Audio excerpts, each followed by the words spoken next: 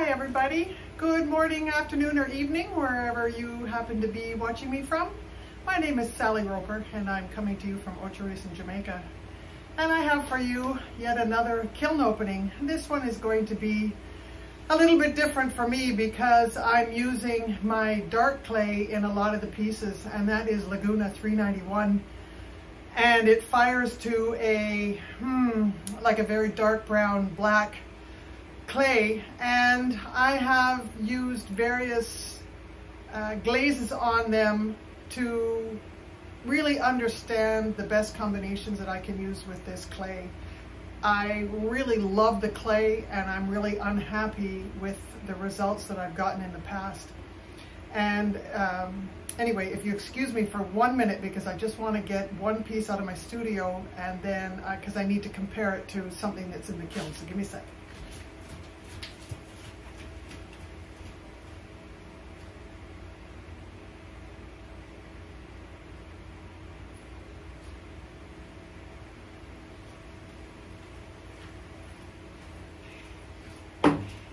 Okay, I'm back.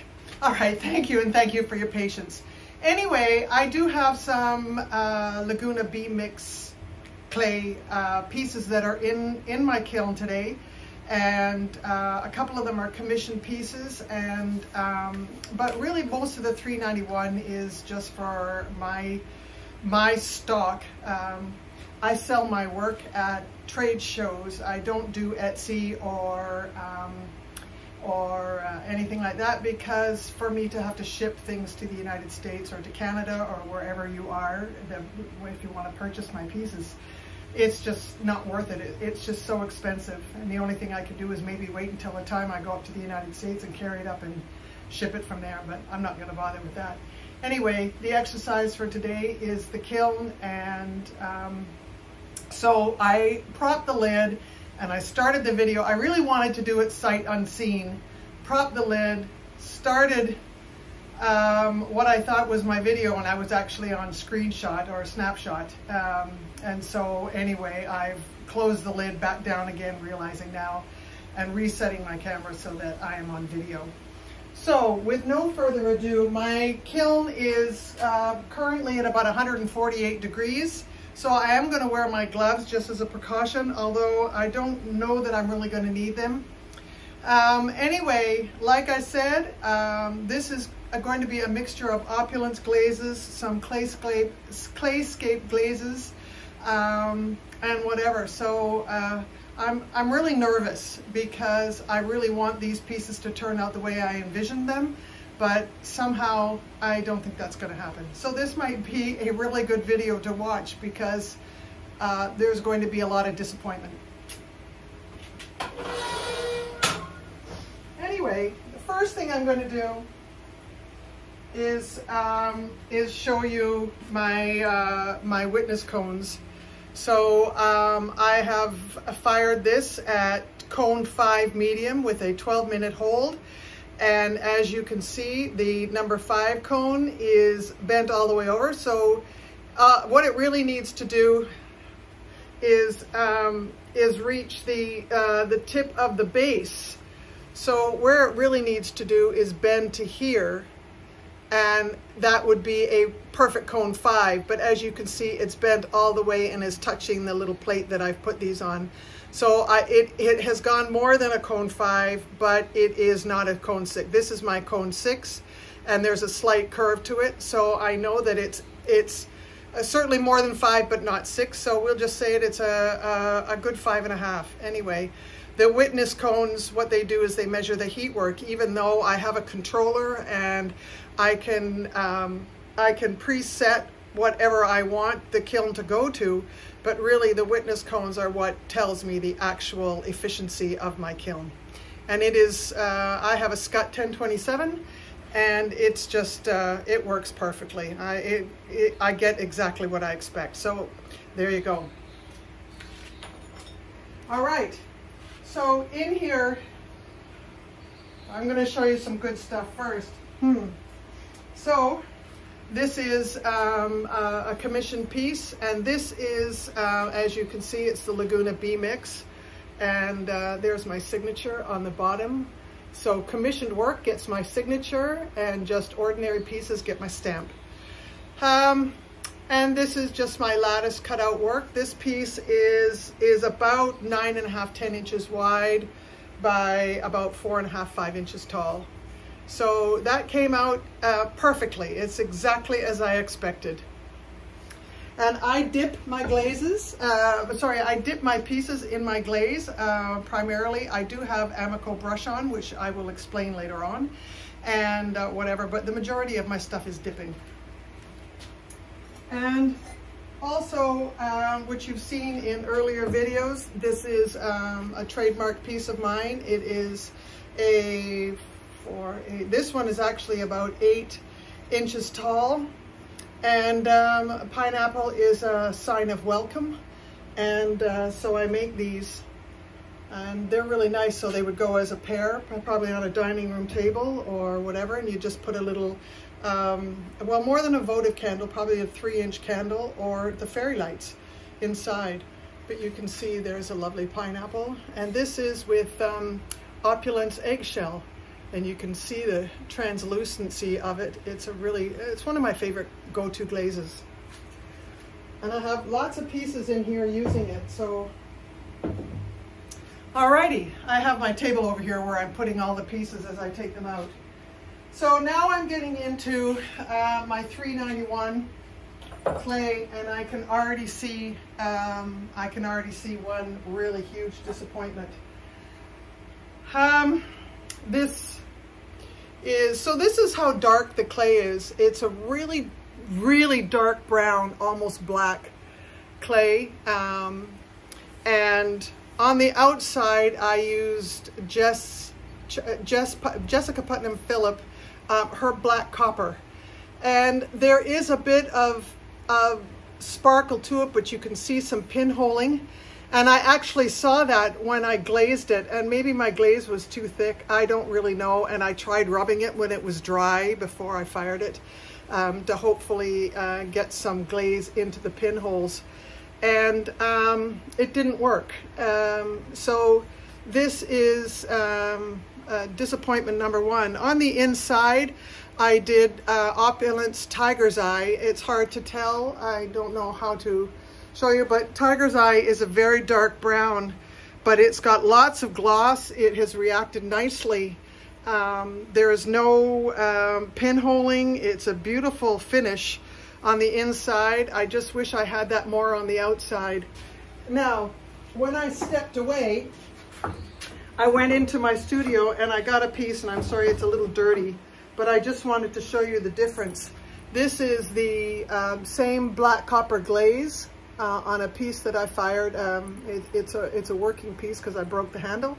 Um, and this is the difference between um, the 390, uh, the 391, which is this one, and the B-Mix. And you can just see the, the um, beautiful metallic glow of the copper uh, color in this glaze. And uh, although I do have a little bit of sheen and metallic sheen on this, it just, it, uh, it, it got lost. And that's a, a, disappointment. Now I only did this on two, on two mugs uh, because I was, I was testing it. And, um, and with the um, 391 clay, I like to leave a little bit of bare clay on the bottom because it is such a beautiful clay. And um, so I, I'm, I'm disappointed that the the copper didn't come out more, that it just really got absorbed into the into the blackness of the clay. Now, this is a um, a little flower vase, and again, it's using the black clay. And what I did was I just carved a little um, a little design on the on the bottom and I filled in the notches with stroke and coat with blue isle stroke and coat and tuxedo in the uh, what would be I guess the stems. And then I waxed it um, using Mark's wax on and I waxed it there and then I dipped this in Opulence Blue Monday. And um, it's come out really interesting. It's a little patchy in places. I don't know why. I gave it a probably a three second dip and on the inside, it's, uh, again, I don't know, I, it's hard to show you the inside, but the inside came out pretty nice. Um, I like the I like the texture and the feel of how the glaze is. It's certainly very different from this one, which is very matte and flat. Um, and this one, this one is turned out okay. Uh, I was hoping the blue would be more solid, but uh, anyway, nice piece. This is um, probably six inches tall. And I made it as a set so this, uh, this will go together with another one. Again, um, just carved a little design on the bottom. And uh, I filled in the where, where the flowers would be or the leaves would be with, uh, this is um, limelight, limelight, um, stroke and coat limelight. And then again, I waxed over that and then I dipped this piece in opulent sea spray what I do like is, although it was not intended, is all of the streakiness and all of the uh, kind of miscolor, discoloration, but it actually has come out okay. And it's, um, it, it almost looks a little bluish, even though the clay, it's the, oh, okay, so it's the same glaze as this if you can believe it. And I think it must be the iron in the um, in the 391 clay, which uh, turns my sea spray. This and this are the same glaze. Uh, kind of hard to believe, but it is. Uh, fired on the same level in my kiln, all on the top shelf. And this has a partner. Again, it has done pretty much the same thing, so I won't dwell on this But um, I like the I like the gloss. I like the sheen of it. Um, anyway, this turned out fine. So there's there's the two of them, and if you can imagine this blue one in the middle. So it's gonna I'm gonna maybe sell them as a set. And now I know I've already had a look at this one. Like I said, I uh, opened up uh, or I started filming, and I had only just really done a screenshot anyway. Again, my 391 clay. This one I dipped in Opulence eggshell, which is gone very, um, uh, instead of being white, this is the same glaze on the inside as this. So uh, it's gone very brown, kind of with a little bit of blue in it, but that inside of this mug and this are done with the same glaze. On the outside, I dipped the whole piece in the eggshell. I had waxed the bottom, so like I said, with this clay, I like to leave a little bit of the of the of, of it showing. And then I did three coats of blue rutile, Amaco. I brushed on three coats of blue rutile, and then um, when all that was dry, I dipped the top into same sea spray, same as this. Um, so I'm it's come out a very dark blue. Uh, I'm, I'm disappointed. I would have thought the blue rutile would show up a little bit better, and, and it didn't. But um, anyway, it's going to be consistent because here's another one. And they've just come, come out really, really dark. It's hard, um, it's hard for me to show you exactly. Um, there, there is a bit of blue, uh, and probably when I take it outside, the blue will shine up a little bit more. We'll just have to see. All right. Going down into my next level. Ah, oh, there's something that's kind of nice. Okay.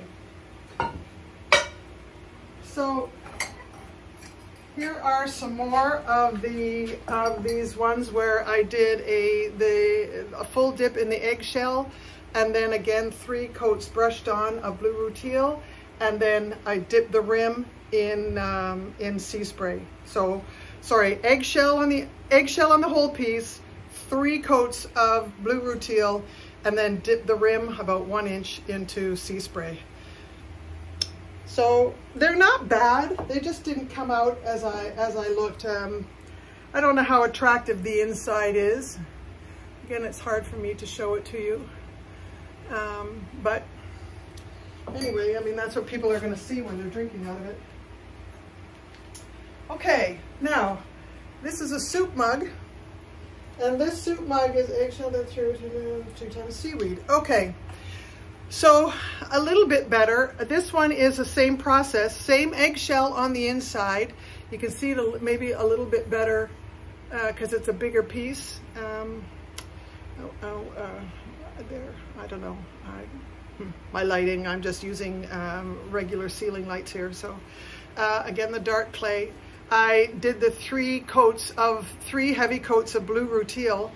And then I did um, two coats of seaweed, uh, Amaco seaweed on top of that. And I got, um, uh, I got a nice little bit of run, um, a little bit of uh, color. Um, there, that can show you a, a, little bit. But again, it, it's a lot darker than I had hoped. And there's a, another example there. That can show you, oh, that's showing you a little bit better of how the colors work. But the blue rutile has just gone black, very, very dark. And, um, and you, can hardly tell there's any blue rutile in there at all. And like I said, two coats of seaweed on the rim. And I did six of them, or five of them. Um, that shows you um, that shows you the run a little bit better. So seaweed is supposed to make the colors run, which it actually did because I only put seaweed on where the where probably the top uh, three quarters of an inch where that little rim is, that little lip. I always do a slight curve on my mugs because that's where it goes on your mouth and it's very pleasing to the lip to have a slight groove. And this is a soup mug. Okay, now this will take a little bit of explanation. So this is, um, again, the 391 clay. And this is my uh, peacock bowl. Now this took six steps. So I did a full dip in the eggshell. So here's a good way to show you. This color here and this lamp are the same glaze. And I do know that eggshell comes out blue, uh, bluish, almost robin's egg blue um, on darker clay, on like a buff clay. Um, and then it's come out even bluer on the black clay. But the whole thing was dipped in eggshell. When that dried, I did, um, I, I, drew um, some U's of flux. Um, I used an applicator bottle uh, and I just did some U's all the way around. Um, and then when that started to dry, I got Stroke and Coat and I have Blue Isle and uh, Limelight, that's it. Blue Isle and Limelight, and what I did is I got a paintbrush. And before I used to just um, squeeze it and make dollops. And this time I used a brush and I just did a, um, a heavy dip and I um, I brushed on the uh, alternating colors with the Blue Isle and Limelight. Then what I did was I dipped the whole thing in sea spray, which is, again, this color. and then I did a second application of the stroke and coat because uh, I didn't want to lose that, that coloring and then um, blue rutile on the rim and inside. And then what I did was just um, a heavy coat of blue rutile, and you can't even tell that I did that. I'm really happy with how this bowl came out, interestingly enough. It, it as I said, it was a six-step process, but it came out exactly as I had intended, and I love the black clay. I love the way the um, the rim has gone dark as the glazes break over that, that rim. Uh, this is a winner. This is probably going to be the, the best piece of the load. Okay.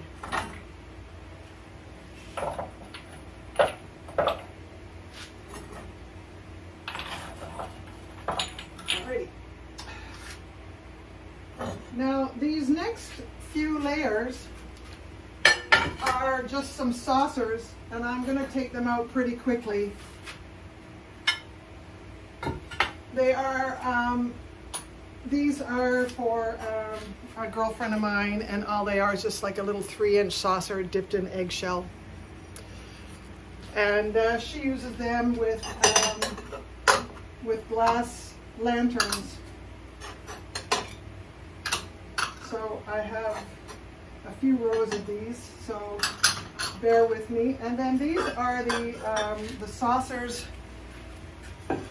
the saucers that I make that go with the lamp, so that if people want to use a candle, um, the candle wax won't go on the surface of the table or whatever it is that they've put this particular piece on. So um, I always sell those as a set. Always make a tray for these lamps. And um, two lamps and I have two of the saucers.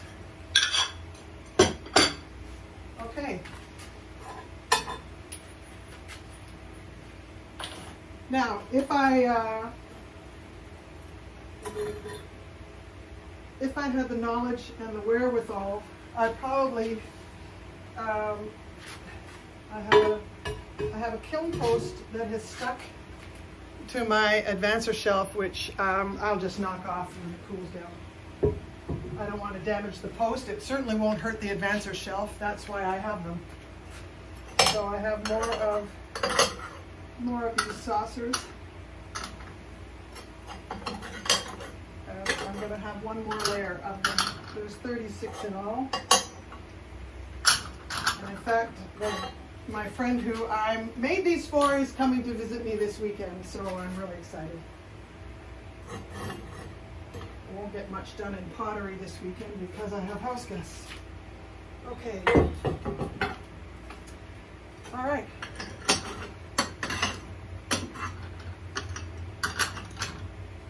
I don't like probably doing something that I really shouldn't be doing and that's stacking things. So let me just move these. I don't like to stack things on the rim of my of my kiln. I don't want to damage it. Okay.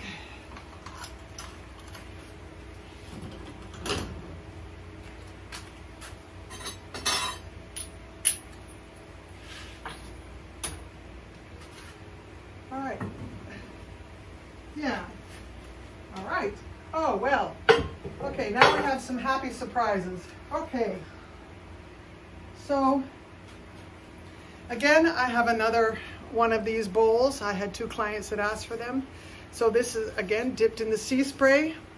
Um, very happy with how that came out, but using my glazes on B-Mix, tested, tried, and true. It never disappoints me. All right. Now this um, is a liner. Hang on.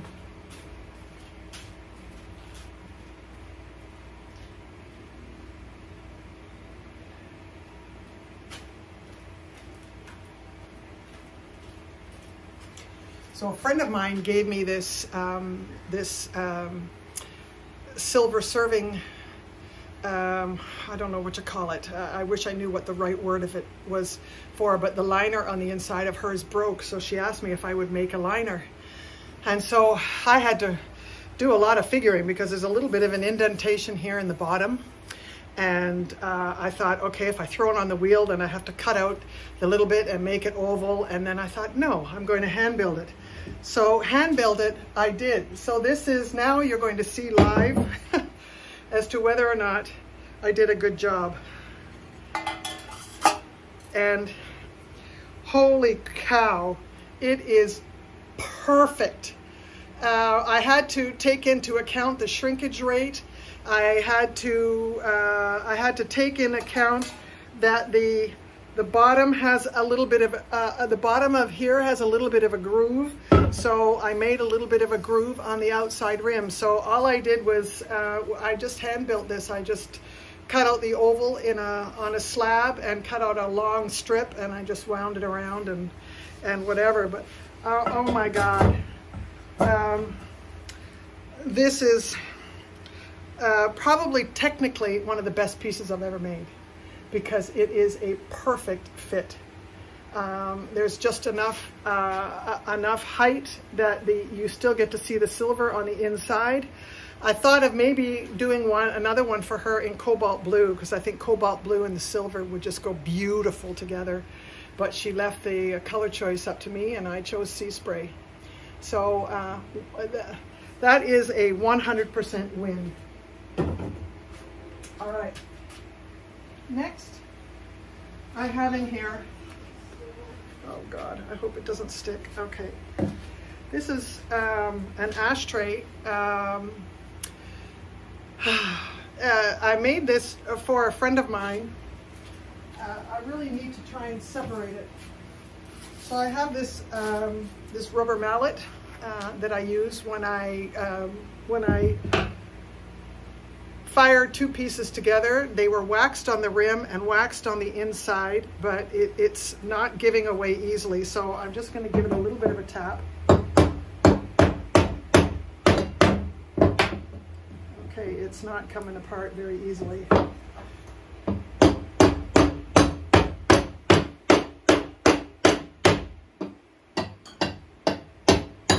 Okay, I think I'm going to have to wait for it to, oh no, it came apart. Okay, great. The idea is you make the base and it has a cone here for you to stub out your cigarettes. And then you, um, after you stub out your cigarettes, you just lift off the lid. She wanted it purposely done like that. And then you just drop the butt in there and then you put the lid back on and you don't see the, uh, you don't see the ashes. And, uh, and this is a, a birthday gift for a girlfriend of mine and I'll tell you the colors that I use. So it's very similar to, um, to the other pieces. So what I did was I just did a full dip into the eggshell. Uh, again, that's gone very brown on the inside, but I don't mind that. I expected it to be a little bit bluer, not quite so brown, but that's okay. Um, and then I painted on some blue rutile on the outside of this, expecting again for the blue to show up, which like these mugs here that you saw earlier in the as I opened the kiln, it did exactly the same thing. So it doesn't have anything to do with the position in my kiln. It is the effect of the of the blue rutile on the 391 clay uh, over, funny enough, eggshell dip. And then what I did on the rim of this was um, I just put a little bit of seaweed because I was hoping to get a little bit of uh, run which which I did get. Uh, again, it's hard for me to show it to you, but you can certainly see a little bit of the green. I like the gloss of it, um, the sheen. This is a, a high gloss glaze. And uh, like I said, putting the two pieces, the two pieces together, this is what you get. Uh, uh, it's, a, it's an ashtray, and because we live in Jamaica where it is uh, very windy and the ashes don't get blown all over the place, like I said, you, you, stub out, you stub out your cigarette on this cone that's built in the middle, just lift the lid and drop the butt inside there and then cover it back up. And it probably also helps reduce the smell. But that is, that's a win. Um, these last pieces are, um, now this has turned out more like what I expected. These mugs are, um, okay, three dips, uh, two, Monday, okay. So this is total a total dip in sea spray, which is again the same glaze as this, and you can see how the the um, the dark clay has turned it blue and now it's on look you're looking at the bottom sorry uh, or even the inside. Um, it's the same glaze as this. And then what I did was when that dried I turned it upside down and I dipped it uh, about two inches into Blue Monday which is well I don't really have a proper showing of Blue Monday. But this is more liking um, what I expected these to turn out like uh, I have used um, sea spray on 391 clay before and uh, I got the same result. So this is just something that I can expect. Um, maybe next time I will try double dipping the sea spray and see if I can get the green to come out a little bit more. But that, I have, um, I have four of those. Here's another one I took out two at the same time. Uh, it's a very slight blend of the Blue Monday into the into the sea spray. You, you don't really see it and you can't tell, but it's just a little bluer uh, on the top and I'm, I'm happy with those. and there's two more. So I made uh, I made 10 of these mugs. There's four more. I only have four more pieces to take out. And um, the rim, uh, it breaks nicely over the rim, so you get that little bit of brown on the rim. Um, as I said, these turned out pretty much like I expected them. So I'm happy with that. Now, the last set of mugs I have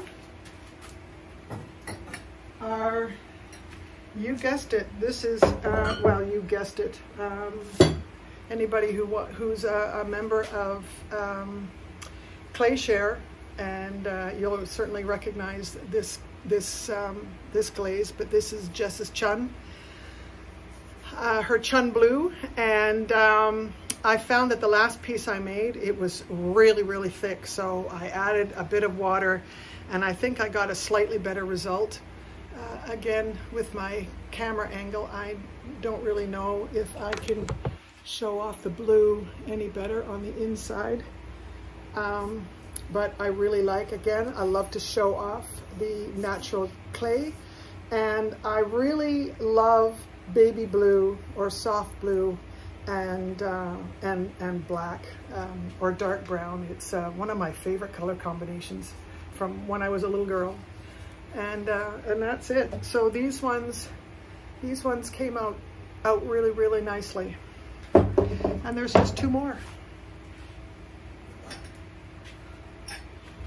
So here are, are the other two. Now it comes out very speckled. I'm not really sure why because it I don't see those speckles when I glaze. The glaze goes on very evenly and whatever, but every time I've used um, I've used Jess's Chun on the on the Laguna 391 clay, I get that speckle.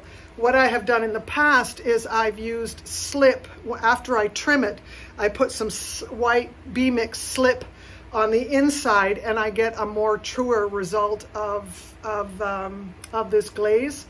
And, uh, but this time I didn't. I, this is just uh, one dip, one single dip into the, um, into Jess Chun Blue.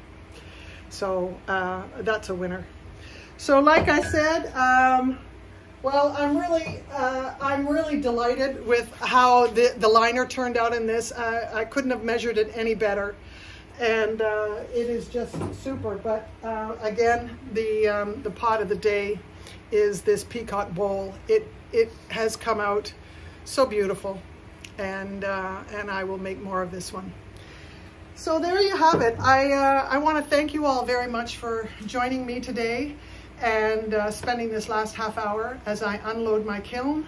Uh, again, um, I anticipated how, how certain glazes were going to react on my 391 clay and um, some disappointed me um, like this, um, this uh, copper, black copper.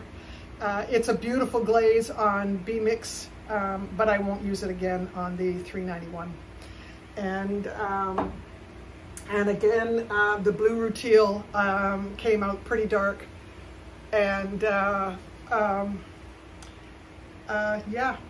So probably what I should have done is maybe next time is if I'm experimenting and trying to figure out how glazes are going to react on my 391 is to make the same piece in B-Mix and make an identical piece in the 391 and glaze them the same way and then uh, I can do a really good comparison and I think that's what I'm gonna do next time I use my 391, but it makes a god-awful mess in the studio. So I don't pull it out very often, but I'm running kind of low on my B-Mix. So I'll probably be using it a little more, uh, a little more frequently than I have in the past. Anyway, thank you all very much for joining me today. And uh, if you like this video, please feel free to hit the like button. If not, that's okay too if you have any comments, good or bad. I'm open to anything. And uh, if you like the channel haven't already, you're welcome to subscribe. I do primarily uh, glaze unload videos, but I am going to start doing a couple of how I throw pieces and they'll just be probably short five minute videos. Um, so it won't take up so much of your time. But thank you for joining me today. I, uh, I look forward to doing more pottery and doing more kiln openings and sharing my experiences and my um, uh, my little bit of knowledge with you and hopes that the hits and misses that I've had today will help guide you forward as you make your pottery. So thank you very much for joining me. It's been a pleasure and uh, I will see you next time. So goodbye from Jamaica.